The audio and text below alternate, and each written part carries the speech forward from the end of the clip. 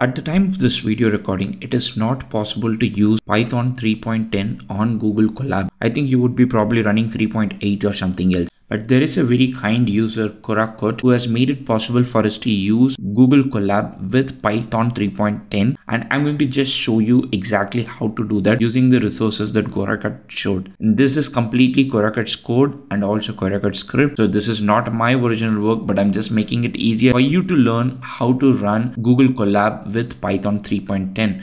So the first thing is you have to this Google the Stack Overflow answer will be linked in the YouTube description so you can check it out. But the first step is for you to click this notebook and this notebook will take you to Google Colab page and there you can actually see that there are some helper script that this user downloads and installs which ideally would be creating a Conda environment, installing Python 3.10 and also installing a IPy kernel for Python 3.10 so once you have this notebook, then first step is to duplicate this notebook in your own drive. Don't use this original notebook. Just create a copy. Duplicate this notebook on your own Google Colab environment or Google Drive.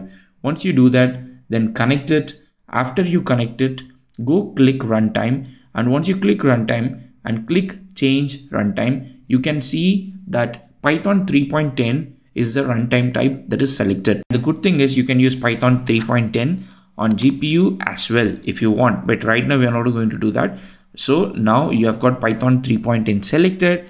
The next thing is you need to install this and after you install the first step, which is going to take some time, then you need to restart the notebook and to verify that you can actually run this import sys print version sys.version. Once you run this, that will help you understand what is the Python version that you are currently running on Google Colab. Whether you have got Python 3.8 or not, that doesn't matter.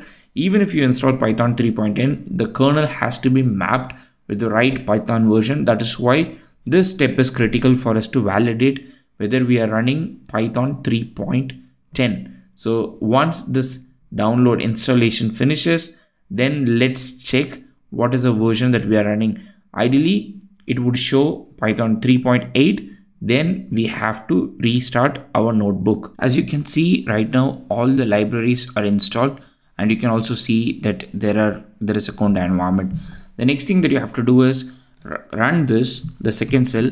And it would ideally show you that you're running python 3.7 so what you have to do is go to click runtime and click restart runtime. Once you restart runtime then now you don't have to run the first cell. You have to just run the second cell.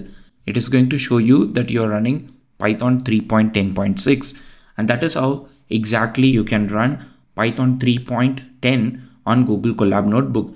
Just to verify that we can also run a very simple python program that is very specific for python 3.10 so the match statement is quite new on python 3.10 so let's copy this and then go to the Colab notebook that we have got and then click run. So click this. Now it's going to create a function.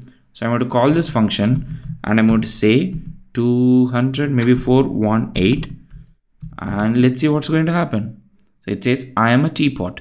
I am a teapot. So the match statement successfully works.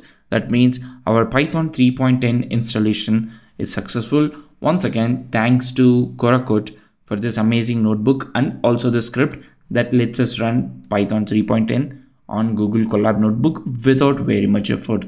The Google Colab Notebook and also the Stack Overflow answer will be linked in the YouTube description. Make sure you check them out. See you in the next video.